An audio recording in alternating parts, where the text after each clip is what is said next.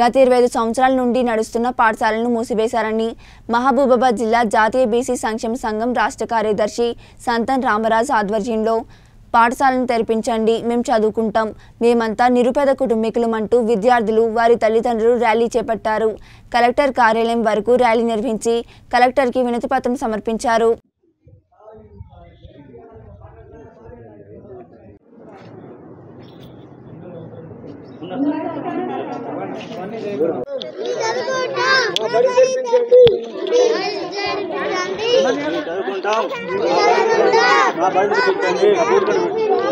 ఏర్పడి ఈ B Sriram Nagar BC colony లోపల ఒక ఇరవై ఐదేళ్ళ క్రితం ప్రభుత్వ నిధులతోటి ఒక ప్రాథమిక పాఠశాల నిర్మించడం జరిగింది.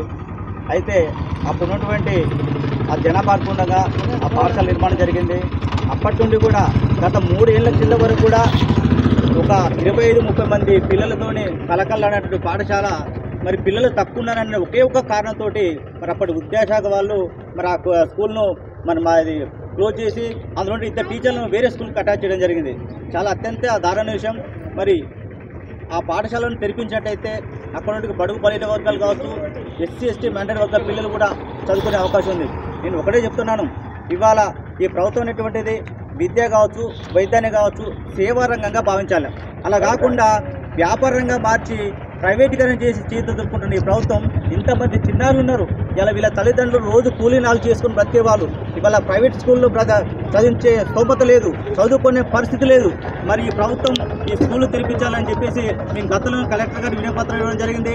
ఎంఈఓడిఓలో కూడా మేము రిప్రజెంట్ ఇచ్చాం అయినా కానీ ఇంతవరకు కూడా మరి వాళ్ళు ఆ- దిశగా మరి స్కూల్ తెరిచే దిశగా మరి అడుగులు వేయలేదు. మరి ఇప్పటికైనా మరి స్పందించాల్సిన అవసరం ఉంది. ఇలా బీసీ కాలం లోపల నాలుగు వందల జనాభా ఉన్నారు. ఈ నాలుగు వందల జనాభా లోపల అత్యధికులు పేదవారు మధ్యతరగతి వాళ్ళు నిరుపేదలు రోజు కూలిపోయి బ్రతికే వాళ్ళు మరి వాళ్ళందరూ కూడా ప్రైవేట్ స్కూల్ లోపల చేర్పించడం చాలా కష్టంగా ఉన్నది. అసలే కరోనా కారణం చేసింది. ఈ కరోనా చేపట్టి ఎన్నో ఆర్థికంగా ఎన్నో కుటుంబాలు చితికిపోయినాయి. మరి వాళ్ళ కనీసం పిల్లలకు బట్టలు సరైన బట్టలు కూడా కొన్ని కొన్ని వాళ్ళకి చదువు చెప్పే పరిస్థితి లేదు కాబట్టి ప్రభుత్వం ఈ దిశగా ఆలోచించాల్సిన అవసరం ఉంది.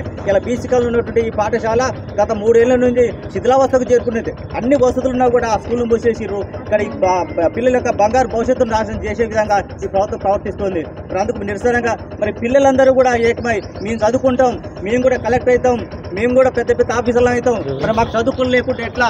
మా బంగారు భవిష్యత్తుని ప్రభుత్వం నాశనం చేస్తా ఉందని చెప్పేసి ఇలా పిల్లలు ఈ కలెక్టర్ ఆఫీస్కి వచ్చేసి మరి గౌరవ పెద్దల కలెక్టర్ గారికి విజేత పత్రం ఇచ్చేసి ఆ యొక్క పాఠశాలను తెలిపేలాన్ని వాళ్ళ పిల్లలు వాళ్ళ పేరెంట్స్ కూడా రావడం జరిగింది. ఇంకా కొంతమంది పిల్లలు ఇంకా మంది పేరెంట్స్ ఉన్నారు. వాళ్ళందరూ కూలీ నాలిగిపోయారు ఇలా తల్లిదండ్రులు కూలీ నాలిగిపోయిన క్రమం లోపల పిల్లలు రోడ్లెంబట్టి తిరుగుకుంటూ చెట్టెంబట్టి పుట్టెంబట్టి మన కాళ్ళలో కూడా పడే ఒక ప్రమాదానికి గురైంది మరి దానికి బాధ్యులు ఎవరు? వీళ్ళకి చదువు లేకపోగా మరి వీళ్ళ యొక్క భద్రత కూడా మరి